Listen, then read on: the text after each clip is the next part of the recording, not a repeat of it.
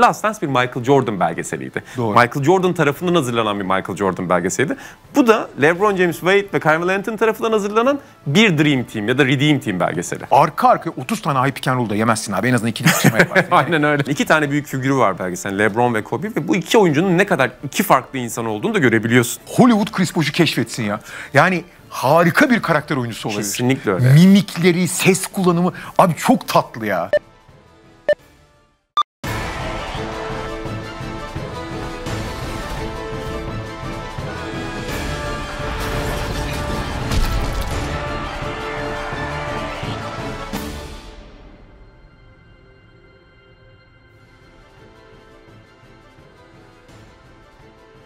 Sokrates'ten herkese merhabalar. Samsung'un katkılarıyla hazırlanan Box Office'in ilk bölümüne hoş geldiniz. Ben İnan Özdemir, Kaan Kural'la birlikte bu programda Redeem Team belgeseli konuşacağız. Ama bu serimizde sadece Kaan abiyle ben olmayacağız. Öyle değil mi Kaan abi? Evet.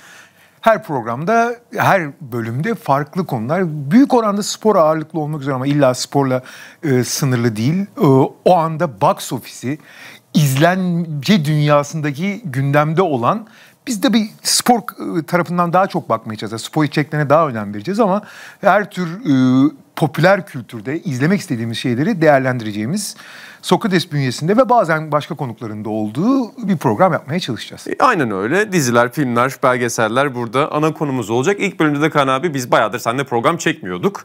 O yüzden de çok iyi oldu seninle birlikte burada bulunmamız. Şaka bir yana bizi çok ilgilendiren bir mesele var. Çünkü Netflix'te daha yeni gösterime girdi. Redeem Team belgeseli çıktı. Zaten Last Dance sonrası NBA Entertainment'ın da işte Amerikan spor kültüründe daha fazla NBA tarihi belgesellerine gideceği çıktı. Bu belgesel de pandemi içinde çekilen bir belgesel. Pandemi içinde çekilmeye başlanan belgesel ve 2008 Beijing Olimpiyat Oyunları'nda mücadele eden Amerika Birleşik Devletleri erkek basketbol takımının hem o şampiyonadaki, olimpiyattaki hikayesi hem de biraz tarihsel süreçteki gelişimi anlatılıyor. Nasıl buldun oradan başlayalım. Ya bir kere ben hani o dönemi çok yaşadığım için hemen hemen bildiğim her şeyi tekrar gördüm gibi. Ama belgesel bunu özetlemek açısından ve açıkçası Amerikan milli takımının yeniden o Jerry Colangelo döneminde yeniden organi- organize olduğunda bu oyuncuları birer yıldız gibi hani abi gelin şurada iki tofatından e, bir takıma nasıl dönüştürdüğünü gayet güzel anlatmış. Ama diğer tarafta tabii madalyonun diğer tarafında da şey var. Bunun yapımcısı LeBron James. Yani başta LeBron James. E, Dwayne Wade, LeBron James, Carmelo Evet, Anthony. yani işte LeBron James'in şirketi üzerinden ve açıkçası biraz bu üçlünün üzerinden anlatılıyor hikaye. Biraz da nasıl Last Dance Michael Jordan'ın efsanesini büyütüyorsa bu da biraz onların özellikle başta LeBron James'in ve Kobe tabii Kobe de çok önemli. Ee, o dördünün gözünden ve o dördünün hikayesi üzerinden biraz anlatılmış. Burada biraz altı- da e, bakış açısı yani kamera bir yerden bakıyor biraz. Altın çizdiğin nokta çok önemli. Bu spor belgeselciliğinde yeni bir akım maalesef. Bir dönem spor otobiyografisi çok meşhurdu. Bir oyuncu kariyerini bitirirdi ya da kariyeri devam ederken bir hayalet yazarla birlikte hikayesini yazardı. Fakat bu artık belgesele daha çok taşınmaya başladı ve ne olursa olsun burada kimin gözünden baktığımızın hep altını çizmek lazım. Yani Last Dance bir Michael Jordan belgeseliydi. Doğru. Michael Jordan tarafından hazırlanan bir Michael Jordan belgeseliydi. Bu da LeBron James Wade ve Carmelo Anthony tarafından hazırlanan bir Dream Team ya da Redeem Team belgeseli. Ve e, bu süreç e, aslında spor belgeselleri e, Drive to Survive ile birlikte hani acayip büyük patlama yaptı. Çünkü Drive to Survive çok çok başarılı oldu. Özellikle Amerika Birleşik Devletleri için konuşursak hani Formula 1'in orada Kendi içinde sorunları var ama Ameri- Amerika bazında büyük pazarlama pazar. hamlesi oldu. Ya bugün Formula 1'de 3 tane yarış olduysa Drive to Survive'ın e, yeri çok önemli. Fakat burada şöyle ufak bir sorun olmaya başladı. Drive to Survive için bunu söyleyemem belki ama e, bu Last Dance'de bence daha çok ön plana çıktı. Bu belgeselde de yani Redeem Team'de de çok ön plana çıkıyor. Şimdi belgesel dediğimiz zaman bizim kafamızda alıştığımız e, kavram herhangi bir konu yani ele aldığı ana temanın her tarafını bir ne derler akademik inceleme yapan yapıttır gibi. Ve bu hani olumlu tarafları budur, olumsuz tarafları budur, şu özelliği vardır, şu e, tarafı daha önceliklidir, şu tarafı daha az e, önceliklidir vesaire gibi anlatmaya çalışır diye düşünürüz biz. Belge, ya belgesel bir konunun e, her yönünü görür diye. Bu yeni jene özellikle spor için geçerli. Bu diğer e, belgeseller için aynı şeyi çok söyleyemem uzmanı olmadığım için. Ama spor belgesellerinde bir açıdan bakılmanın yani belli bir açıdan bakmanın e, daha ön planda olduğunu görüyoruz. Bu da bizim e, genel anlamda anladığımız belgeselin işte her tarafına bakar yaklaşımından biraz uzaklaştık. Tabii yani aslında bir diğer, diğer taraftan o da biraz suni bir bakış açısıydı Kaan abi. Yani aslında eskiden daha iyi bunu kandırıyorlardı bizi. Artık o kadar kanmıyoruz belki Doğru. de. Yani şöyle Belgesel hiçbir zaman yoksa objektif bir araç değildi şöyle sinema tarihinde. objektif olma amacı ve söylemi vardı. Bunu ne kadar karşılıyordu ayrı konu. Artık öyle bir amaç da yok. Direkt subjektif olma konusunda subjektiflikle barışmış durumdalar diye. Peki Redeem Team'in hikayesi neden önemli? Şimdi sen gazeteci olarak oradaydın dedin. Hakikaten de oradaydın. Çünkü Evet, evet. 2004 olimpiyat oyunları mesela çok önemli bir yer tutuyor burada. 2006 yer tutuyor. 2006'da salondaydım hatta. 2006'da salonda dedin. 2004'te o takım, o Dream Team ya da Dream Team e, ne diyelim fason bir Dream Team olan aslında çok önemli oyuncuları barındıran o takım İstanbul'a geldiğinde gazeteci olarak burada bulunuyordum. Gerçekten de Amerikan basketbolu uluslararası basketbol arasındaki makasın daraldı. Pek çok açıdan ABD'nin geride kaldığı bir dönemde ve oradan çok önemli dersler çıkardılar. Ya e, belgesel aslında işin sportif tekniğine çok bakmıyor. Daha çok bireysel gelişim üzerinden gidiyor. Yani işte LeBron da e, Wade de e, işte merkezde olan e, bireyler olarak işte şampiyonaya ve uluslararası basketbola nasıl baktığını, bunun ne kadar sorunlu olduğunu, e, kendilerini çok adamadıklarını, ya biz çıksak yeneriz diye geldiklerini, sonra bunun için aslında bir takım olmadan kimseyi yenemeyeceklerini falan anlatıp kişisel gelişim hikayesi de biraz anlatıyorlar. E, ve açıkçası bütün belgeselin yani gerek Şevski röportajları olsun, gerek yani belgeseldeki bütün paydaşlar işte biz zihniyetimizi değiştirdik, rakiplerimize saygı duymayı öğrendik. dedi. Bence orası güzel ama Amerikalılar genelde çünkü pek dünyanın geri kalanına çok saygı duymazlar. Hele üstün olduklarını düşündükleri bir alanda basketbol gibi. Ya onlar dinki çocuk muamelesi yaparlar. Pek öyle yapmamışlar. Yani hatta rakibe saygı duymadığımız için e, dersimizi aldık falan diyor. Ama bunu hep kişisel ve zihinsel bir gelişim yolculuğu gibi algılatıyorlar. Halbuki öyle değil. Yani teknik olarak çok ciddi bir değişim var. Yani e, 1992 Barcelona Olimpiyatları nasıl dünya basketboluna fizikselliğin, sertliğin ve savunmanın gücünün ne kadar önemli olduğunu anlattıysa ve dünya basketbolunda çok ciddi bir devrim yarattıysa 2000-2006 süreci diyelim yani 2002'de, 2004'te ve 2006'da NBA oyuncularının yenilmesi onlara basketbolda tekniğin, e, atletizm dışında fundamentalin ve şutun oyunun çok önemli birer parçası olduğunu, tekniklerini buraya doğru evirmeleri gerektiğini anlattı. Mesela orada çok az bahsedilen bir konu var. 2002'de yenilen ya da 2004'te yenilen veya 2006'da yenilen takımın kullandığı 3 sayı oranı sahaya yayılmasıyla 2008'de 2008 finalinde İspanyollardan iki kat fazla üçlük atıyor Amerikalılar. Hani bu değişimden çok bahsetmiyorlar yani teknik değişimden. Evet çünkü orada daha ana akım kitleyi yakalamak istiyorsun ve o yüzden mesela high pick and roll'den bahsediyorlar Yunanistan 2006'da onları. Orada Dwayne Wade ve Chris Bosh çok güzel ifade ediyor bu arada. Bayıldım ona. Diyorlar ki abi diyorlar dışarıdan baktığınızda şey diyebilirsiniz. Ya bu adamlar nasıl bu high pick and roll'ü savunamıyor ama sağ içinde savunamıyorduk diyor. Yani o Yunanistan'ın 3 dahi gardı zaten Amerikan basketbolu paramparça etmişlerdi. Aynı şekilde Arjantin milli takımının o topu paylaşma becerisi ve birbirine için oynama becerisi de çok güzel yansıtıyorlar. Ve senin söylediğin nokta çok önemli. 2000'lerin başında liseden NBA'ye giden oyuncuların pek çoğu aslında teknik kabiliyetleri üzerine düşen oyuncular değildi. Atletizmiyle fark yaratan oyunculardı. Yani Darius Miles ekolü bir- birçok oyuncu NBA'ye girmişti 2000'ler başında. Ama sonra Avrupa'daki bu değişimi gördüler. Dünyadaki bu değişimi gördüler ve fundamental'ın ne kadar önemli olduğuna dikkat ettiler. Zaten şu an NBA'ye gelen oyunculara bakıyorsun. Şut bu sefer en temel nitelikleri oluyor. Temas almaktan bile önce oluyor. O farkı belki çok teknik detaya girmiyorlar ama güzel anlatıyor oyuncular. Yani oyuncular orada şey de yapmıyorlar burada. Ukalalık da yapmıyorlar. Doğru, doğru. O konu- Yani üçü de çok şeyler o konuda. O tonu çok güzel tutturmuşlar. Bir de yani Larry Brown'u biraz eleştiriyorlar ama Larry Brown'un şey demecini alıyorlar mesela. Biz saygı duymuyoruz rakipleri demecini alıyorlar. Benim beğenmediğim taraflardan biri sana o büyüme hikayesi dedin ya. Büyüme hikayesi anlatılırken biraz o Şişevski'nin yani Şişevski'nin tarzıyla alakalı bu. Tabii ki çok önemli katkıları olmuştur. Ama o Şişevski'nin o askeri paralelliği, o biraz hafif işte militarist yaklaşımı. Onu bir de Irak Savaşı arka planıyla veriyorlar ki orada Irak Savaşı'nın arka planını aslında tahmin edebileceğimiz üzere sosyokültürel bir şekilde ya da dış politika anlamında işlemiyorlar. Kendi cephelerinden işliyorlar.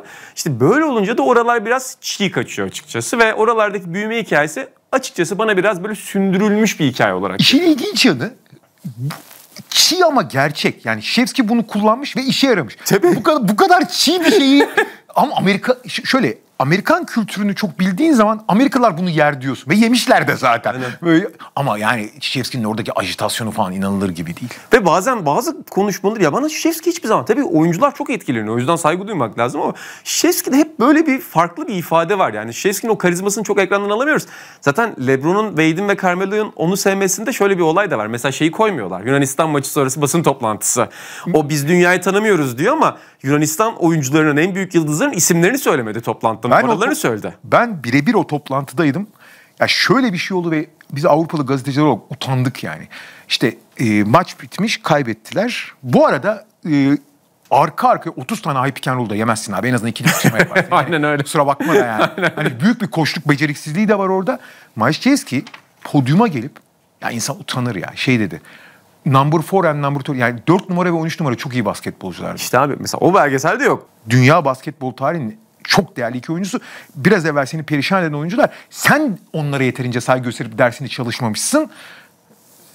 Ayıp. Ve işte o da aslında belgeselle biraz narratif arasındaki, anlatı arasındaki farkı oluşturuyor belki de. Sonuçta tarihi bir anlatı sanatıdır. Yani tarih hiçbir zaman zaten hep hikaye versiyonu vardır. Ama oralarda farkı hissediyorsun. Şunu da söyleyelim. Şimdi düşüşle başlıyoruz. Uluslararası bir düşüş var Amerikan basketbolunda. Yükseliş gösteriyorlar, düşüş gösteriyor. Büyüme hikayesi var. Üç tane oyuncunun yaşadığı hayal kırıklıkları ve sonra olgunluklarını görüyoruz. Ve orada da belgeselin ortasından itibaren izlerini değiştiriyorlar. Ve tahmin edeceğimiz üzere üç farklı bölüm gibi de okuyabiliriz bunu. Bir Kobe Bryant belgeseline dönüştürüyorlar belgeselin sonunda. Bu da son derece beklenebilecek bir şey. Çünkü o başarısızlıklardan sonra yapılan en büyük hamle Kobe Bryant'ın gelişi ve Kobe Bryant'ın gelişi sadece o milli takımın için değil o genç oyuncuların kendi NBA kariyerleri için de aslında önemli bir eşik. Aynen öyle. Yani onların bireysel yani takımın gelir gelmez liderliği oluyor ki bu oyuncuların çoğu hani işte LeBron, e, Wade, Bosh ve Carmelo Anthony 3 senedir büyük hayal kırıklıklarıyla kendini adamışken Kobe resmen tepeden iniyor.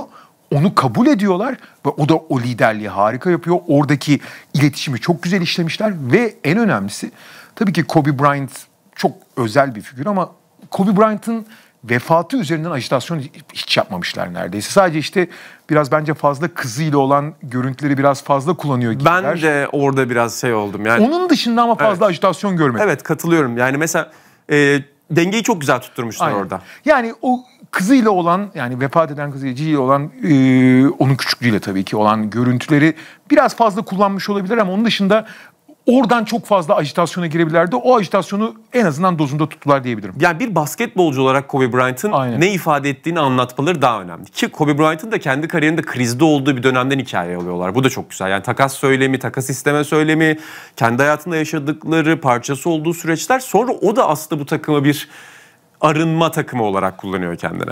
Kobe'yi kaybetmiş olmamıza rağmen zamanında özellikle e, Redeem Team sürecinde ve daha sonra yaptığı röportajlardan da yani çünkü sonuçta LeBron'la, Wade'le, Boş'la herkesle röportaj yapabiliyorsun ve e, bu- burada işleyeceğin konuları üzerine sorular sorabiliyorsun. Kobe'ye soramaz ama onların arasından da çok iyi çekip Kobe'yi de yani aramızda olmamasına rağmen gerçekten bir parçası haline getirmeyi de çok iyi başarmışlar. Ve o şeyi de güzel anlatmışlar yani karakter olarak Kobe ile nasıl farklı olduklarını. Yani iki tane büyük figürü var belgesel LeBron ve Kobe ve bu iki oyuncunun ne kadar iki farklı insan olduğunu da görebiliyorsun. Peki şimdi burada başrol e, Kobe, LeBron, Boş. En sevdiğin iki karakter? Chris Bosh çok iyi böyle belgesel. Muhteşem abi. Ben Chris Bosh'u ne zaman, ben sadece belgesel değil, nerede podcast'te çıksın, yazı yazsın her zaman bayılıyorum Chris Bosh'a. Abicim Chris Bosh, Hollywood Chris Bosh'u keşfetsin ya. Yani harika bir karakter oyuncusu olabilir. Kesinlikle öyle. Mimikleri, ses kullanımı abi çok tatlı ya. Hall of Fame konuşması da gelmiş geçmiş en iyi Hall of Fame konuşmalarından biridir. Muazzam bir adam. Chris Bosh bir ekran yıldızıdır abi. Kesinlikle öyle. Belgesel olsun, komedi olsun ne olursa olsun. Bir de Doug Collins çok iyi. Tabii Doug Collins öyle güzel bir yere oturuyor ki. Müthiş bir hikaye Doug Collins. 72 olimpiyatını kaybeden takımda olması, bu e, maçların yorumcusu olması, onunla bütünleşmeleri Doug Collins'le o kadar güzel bir yere oturmuş ki onlar hani boşun ne derler oyunculuğu demek istemiyorum bana. Varlığı ve Doug Collins'in pozisyon olarak oturtulması da bence çok ciddi artı değer katmış. Ben bu arada Larry Brown ve George Karl'ı da şeyden isterdim. Kavga çıksın diye isterdim. Yani çok güzel kavga çıkardı onların George, var. abi George Carl'ı eklesen bambaşka bir belgesel yapıp ortalığı birbirine katabilirdin. Şey. Herkese laf söylerdi. Tabii, tabii. Peki sana en karanlık ve en aydınlık anları neydi belgeselin sence? Ee, ya karanlık özellikle finalde Kobe'nin işte e, yani vefatını ça- çağrıştıran işte o ağır çekimde kızını kucağına aldığı bir sahne var. o benim içim yani gö- görüntü olarak değil ama iç olarak çok tabii karar. Çok üzücü. Onu ama ajite etmeden mümkün olduğu en uygun şekilde yapmışlar. Ben o doğum günü şeyini de çok seviyorum. Daha önce izlediğimiz bir sahneydi ama o doğum günü kutlama sahnesi de çok güzel. Yani orada Kobe'nin hala onlarla arkadaş olmadığını hissediyorsun. Ama beraber aynı yani klişe bir laf vardır. Aynı sayfada olmayı da kabul etmiş ve mutlu da olmuş onların ona ilgisinden dolayı. Çok hoş bir sahne. O karanlık mı aydınlık mı? İkisi o de galiba- olabilir. Evet, Evet, aydınlık hem hem, aydınlık karanlık yani hem insan üzülüyor şu anda görünce hem de bir yandan da aydınlık bir sahne. Ee, en aydınlığı ama herhalde e, yine Kobe belki işin içinde ama dakikal yüzde çektirdiği foto- çektikleri fotoğraftaki o yani abi 4 sene neler yaşadık ve nereye geldik. Tabii konu Amerikalılar olduğu zaman onların hani bir e, mücadeleden sonra bir yere ulaşmaları özellikle Amerika dışında biri için çok anlamlı gelmeyebilir. Ama belgeseli seyrettiğin zaman yani onların da bir yolculuk yaptığını anlayıp oraya gelmiş. Ve Doug Collins'i yani de işin içine dahil ederek bir yere gelmiş olmaları herhalde en aydınlık anlardan biri oldu. Bir de NBA tarihi hep öyledir ya, ayaklı bir tarihtir NBA. Yani NBA onu çok güzel yapar. Genç oyuncu 23 yaşında bir oyuncu bile orada gidiyor 72'de oynayan ve bir trajedinin parçası olan adama saygıda bulunuyor. Şevski'ye madalya takmaları da çok hoş bir sahne bu arada. Ee, bu arada biraz evvel görüntüye gelen Arjantin'in şampiyon olmasını işte e, 2004 şampiyonluğunu kutladıkları ve kendi e, hüzün yaşadıkları ama Arjantin'in mutluluğunu da belli bir oranda vermiş olmaları da orası da bence çok aydınlık ve çok güzeldi. Peki hangi sahne belgeselin içindeymiş gibi hissettin? Yani böyle sesi açmak istediğin bir yer oldu mu? Ben kendi adayımı söyleyeceğim sana. Sesi açmak istedim zaten ses açılmış orada. Kobe'nin Pau Gasol'e vuruşu. Of. Ya o, ya O üzerine doğru giderek tak diye vuruşu. A- katılıyorum çünkü onun o çok önemli bir yaklaşımı gösteriyor. Çok önemli bir e, ne derler referans noktası. Zaten o anla ilgili herkese görüşleri sonra o anı yedi kere falan veriyorlar. Büyüterek veriyorlar böyle zoomlayarak falan. Kesinlikle o olabilir. E, ben açıkçası final maçında özellikle e, ikinci yarı sekanslarını da çok arttırdı. E, ayağa kalkarak yani çok e, sesini açarak izlemek istedim. Çünkü orada da yani İspanya'nın hakkını çok veriyorlar. İspanya'nın her şeye rağmen teslim olduğu maçın içinde kalmasını. Kaan abi 2008 finali. Daha önce biz defalarca söyledik ama LeBron James de söylüyor. Hepsi söylüyor. Hayatımızda oynadığımız en iyi maçtı. Benim Aynen. bir seyirci olarak hayatımda izlediğim en güzel maçlardan biri. Hala açıp açıp izliyorum o maçı. Muhtemelen o İspanya takımı 2008 takımı o dönemin yani İspanya'nın altın jenerasyonunun zirve bölümü maçı da çünkü biliyorsun iki kere oynadı. Grupta 30 yiyorlar. Finali de yani gelmiş geçmiş en o üst düzey milli takımlardan birinin en üst düzey performanslarından biri Redeem Team'in onun üzerine çıkması gerekiyor kazanmak için ve üzerine çıkmayı başarıyor. Yani Rudy Fernandez'in orada oynadığı top. Of of of. Ricky Rubio'nun o finalde ya Jason Kidd'in karşısına çıkıyorsun o performans. Navarro falan. 17 yaşındasın. Acayip bir şey yani. Peki belgesellerde genelde bu da sorulur. Yani sonuçta işi bu olan insanlar olarak tabii ki bize daha farklı baktığımız bir şey ama yeni bir bilgi keşfettin mi bu belgeselde? O açıdan nasıl bakarsın? Ee, çok büyük oranda değil ama şeyi e, açıkçası takım içi iletişim konusunda yani Kobe'nin takıma nasıl entegre etti? Kobe ile ilk çünkü yeni ilişki kuruyorlar orada. Çünkü bu LeBron, e, Wade, Bosh ve Carmelo Anthony yani bu dörtlünün NBA kariyerlerindeki ilk 4-5 sezonları. Evet Kobe ile belli bir ilişki olabilir ama Kobe de o zaman bizim bildiğimiz Kobe gibi değil. Yani çok yalnız biri. Onu da anlatıyorlar. O ilişkilerin e, örülme aşamasında e, birbirine yaklaşımları. Sonuçta bunlar çok rekabetçi oyuncular olsa da özellikle Bosh, Wade, e, LeBron ve Bosh e, şey Carmelo Anthony arkadaş olsa da e, onların birbirleriyle iletişim ve Kobe ile iletişiminin ilk yüzünü, bu iletişimin nasıl geliştiğini görmek açısından o e, içeriden bilgi açısından bana en çok ne derler hani daha önce bilmediğim ya da tam vakıf olmadığım konuda beni çok aydınlattı orası. Benim de en tazelendiğimi hissettiğim konu şu oldu. 2004'te tabii ki yine politik sebeplerden ötürü bir geminin içinde o şampiyonun olimpiyatın parçası olur. 2008'de olimpiyat köyü deneyimini yaşamakla 2004'te yaşamamak arasındaki farkı güzel göstermişler. Bir daha yaşamadılar ama gene hep gemidelerdi daha E, sonra. mesela çok kötü bir şey o. Çünkü gerçekten diğer sporcular da hep bunu söylüyor. Yani diğer Bu arada- sporcular da Amerikalı basketbolcularla ya da yıldız basketbolcularla bir arada olmayı istiyor. İşin ilginç bak Irak ajitasyonunu burada da katıyorlar. İşte güvenlik endişeleri gemideydik. Ya 92, 96, do- 2000'de de gemideydiniz. Yani daha önce güvenlik şeyi yok.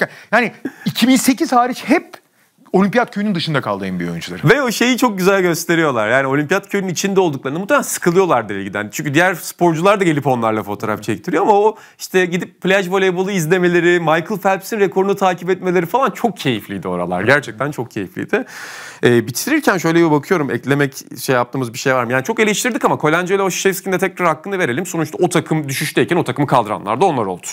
Ee, kesinlikle öyle. Ee, yani hataları, eksikleri özellikle işte 2006 şampiyonasında falan var ama Amerikan milli takımını bir yıldızlar karması abi gelin oynayından çok bir programa dönüştürme konusunda Colangelo muazzam iş yaptı. Çünkü burada çok bahsedilmiyor ama biliyorsun Amerikan milli takımı Colangelo geldikten sonra 2004 ile birlikte bir aday kadro açıklıyor. 30 kişilik falan 30 tane NBA yıldızı ve soruyor iki yıl boyunca kendisinize adamayı karar veriyor. O zaman milli takım alacağız. Şey demiyor yani gidip işte Lebron'a abi gelir misin? Ya ben bu yaz geleyim gelmeyeyim falan değil. Ya bu programın bir parçası mısın değil misin? Ve onların karşısına antrenman yapacakları genç oyuncular yani genç yıldız adaylarını belirleyip uzun vadeli bir Amerikan milli takım programı da yapmış durumdalar. Yani Amerikan milli takımı gerçekten Colangelo sayesinde bir milli program oturtmayı başardı. Ki sonrasında yine biraz daha takım kaliteleri düştü. Yani şu anda da mesela özellikle uzun sıkıntısı yaşıyorlar takım kaliteleri düştü ama yine de o geleneği sürdürdüler. Şimdi Grant Hill projenin başında mesela ve Steve Curry koçu olarak seçti. O ikili geleneği sürdürmeye çalışıyorlar onlar da. Evet. Çok teşekkür ediyorum Kaan abi. Hem Redeem Team'i konuştuk hem de Amerikan milli takımının senin de aslında kenardan çok yakından takip ettin. Benim kıskanarak tribünden ve tekrar başından takip ettiğim yıllarını anlatmış olduk. Box Office'te İnan Özdemir ve Kaan Kural olarak efendim ilk bölümde bir Amerikan mutfak esintisi yaşattık ama dizilerden, filmlerden, belgesellerden rotasyonla, farklı konu ve konuklarla bahsetmeyi sürdüreceğiz. Samsung katkılarıyla Box Office'in ilk bölümünü tamamladık. Bizi izlemeye devam edin. Hoşçakalın. Hoşçakalın.